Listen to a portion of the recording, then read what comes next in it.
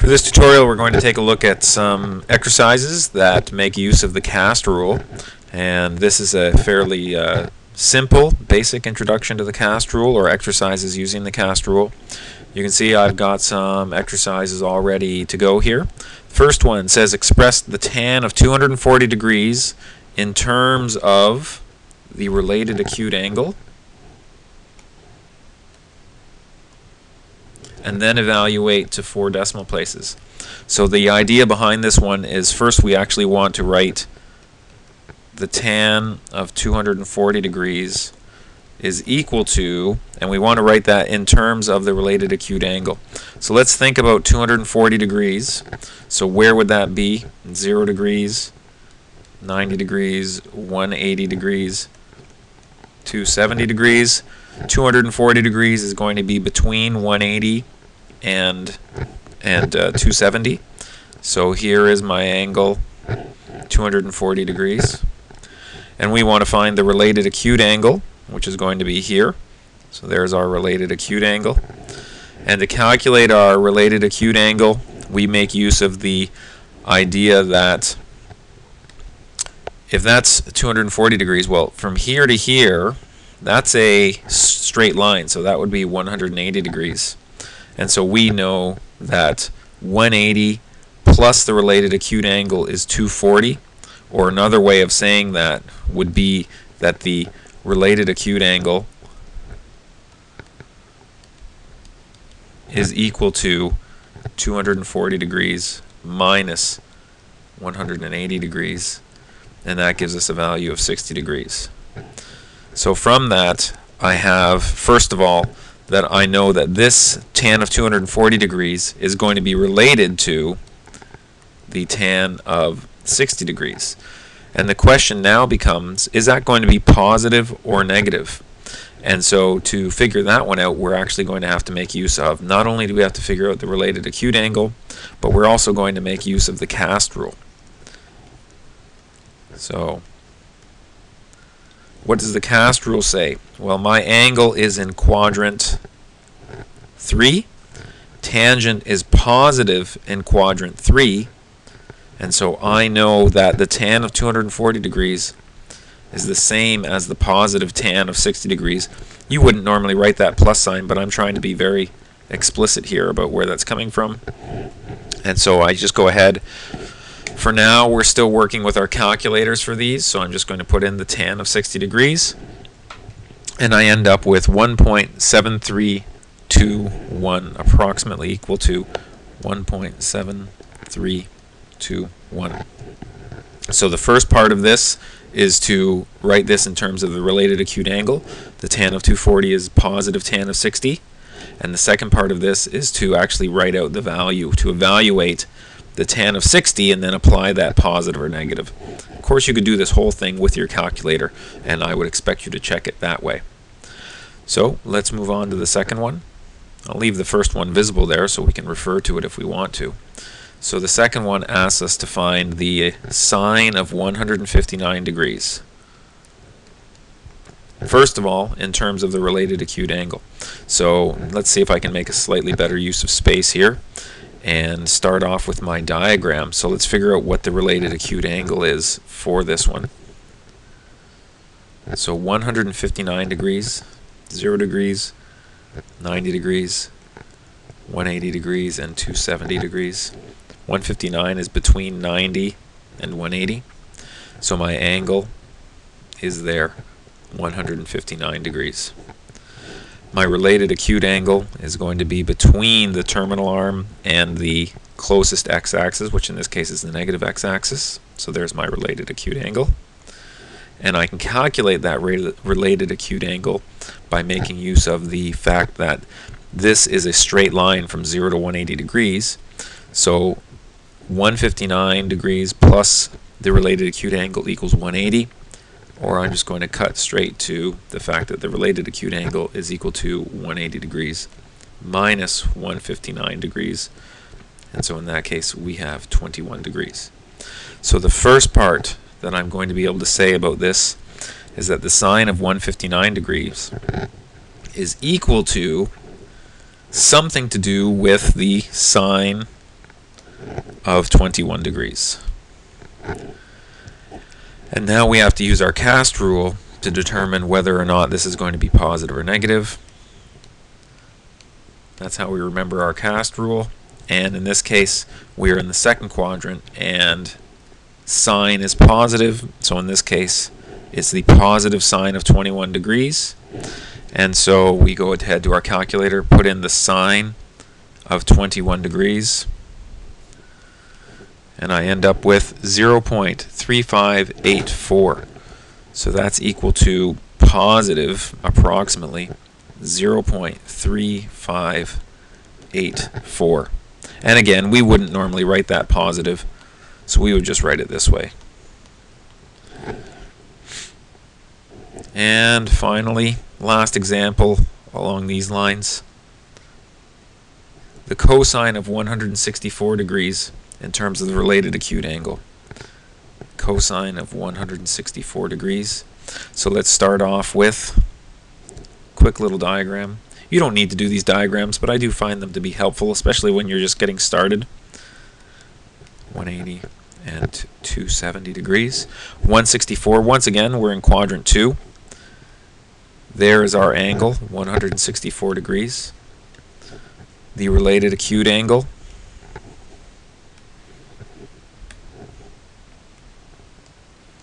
the related acute angle between the terminal arm and the negative x-axis. We have a very similar calculation, which is, in this case, 164 degrees plus the related acute angle equals 180 degrees.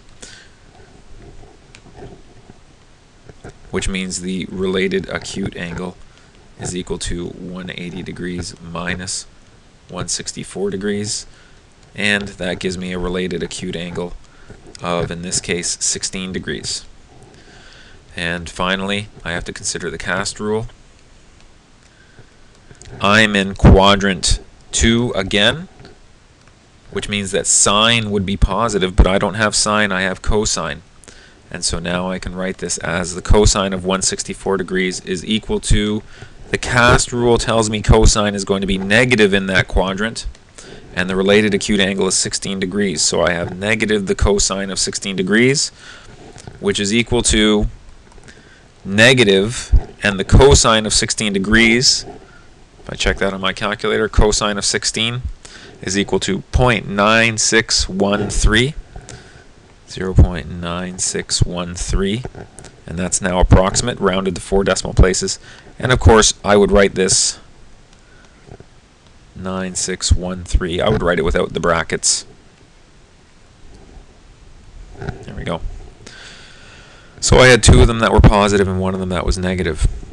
and this is generally these are the, the two simple steps you're going to take whenever you're doing a question dealing with these angles. Um, you're going to, first of all, you're going to look at the actual angle. A, a, sketch, if you can do it in your head, then great, but if you can't do it consistently, I recommend using a sketch, and you're going to also record your CAST rule there. Okay, let's take a look at another example it's on page 2. On page 2, I have a couple of other questions. I say the coordinates of a point on the terminal, terminal arm of an angle theta are at negative 11, negative 4. So the x-coordinate is at negative 11 and the y coordinate is at negative 4. Dis determine the exact primary ratios for theta. So what are the trig ratios for the angle theta? So again, a quick little sketch of this is certainly going to be useful. And I take an x value of negative 11 and a y value of negative 4.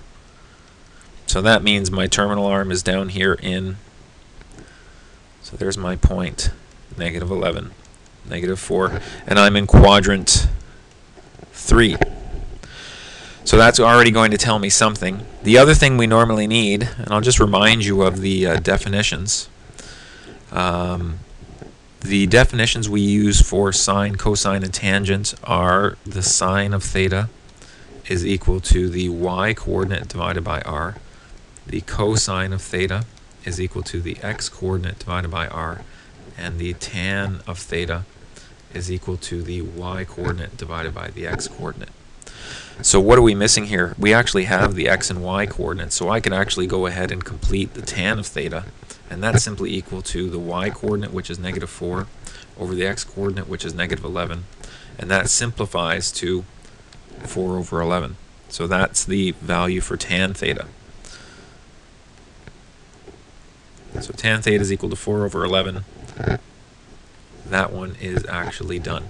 And that's an exact value. I didn't do any rounding here. So remember, we're finding exact values. The next one I want to find sine or cosine. Both of them are going to involve r. r is the length of uh, the from the origin to the point. So essentially, it's the hypotenuse.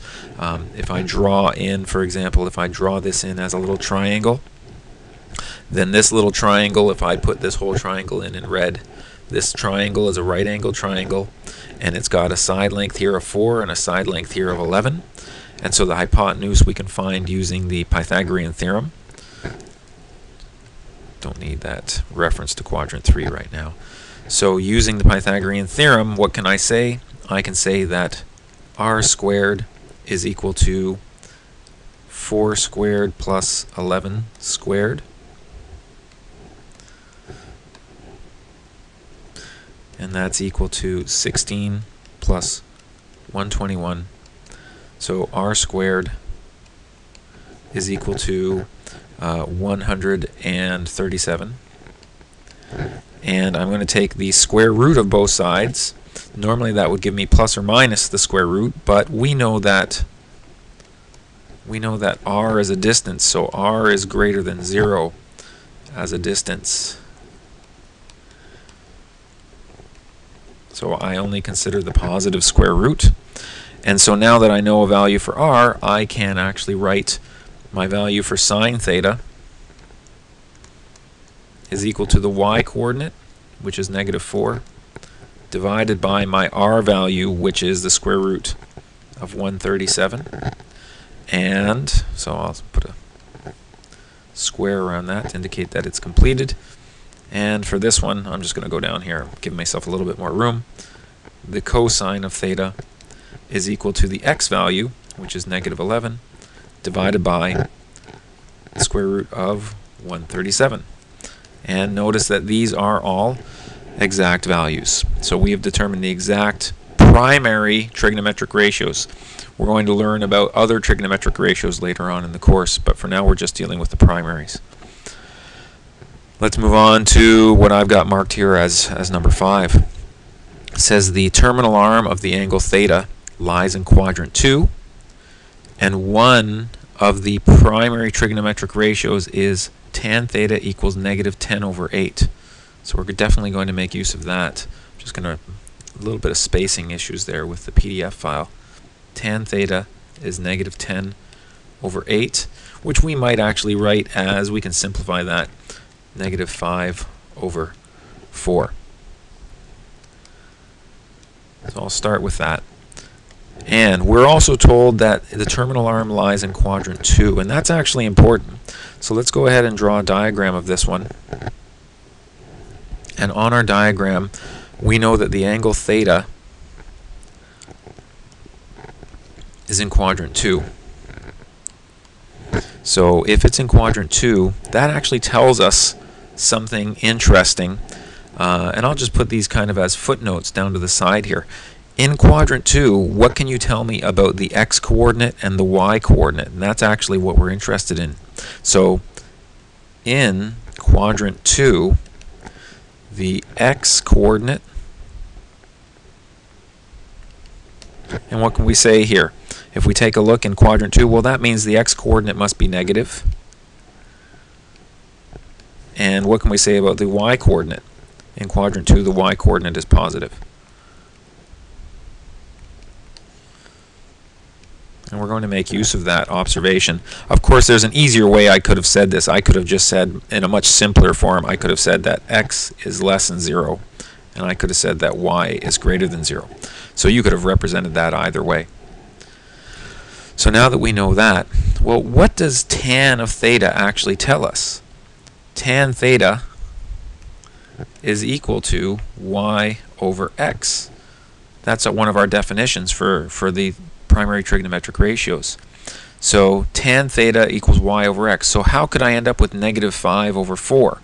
Well, there's only two ways that could have happened. I could have negative 5 divided by 4, so that's y equals negative 5, x equals positive 4. Or y is equal to 5. Oh, sorry, that's not what I meant to do. And x equals negative 4. It's either it's either going to be a negative divided by a positive or a positive divided by a negative. It has to be one of those two. But because of this condition, we know the x-coordinate is negative and the y-coordinate is positive because we're in quadrant 2. So because of this condition, I can actually eliminate both of those, and I know that y is equal to 5 and x equals negative 4. So I'm going to keep those two. The only thing I need to find now is my r value. So what is my r value? How am I going to calculate that? Again, using the Pythagorean theorem. I'll do a different color triangle here than I've been using. So let me just go ahead and drop in a little right triangle here. And let's consider this right triangle. Well, in this case, if x is negative 4, well that means the length of this is actually 4. If y is 5, the length of this is 5 and we can use that to find our, our, our, r value using the Pythagorean theorem. So from that we end up with r squared is equal to 4 squared plus 5 squared, and that's equal to 16 plus 25, which is equal to, what do we have, 3141. Those are all r squareds and I take the square root, but because I know that r is a distance, that's just equal to square root of 41. So because we're in quadrant 2, we've able, been able to figure this out. I already know what tangent is, so really my value for tangent is complete. It's right here in a simplified form. Tan of theta is equal to negative 5 over 4.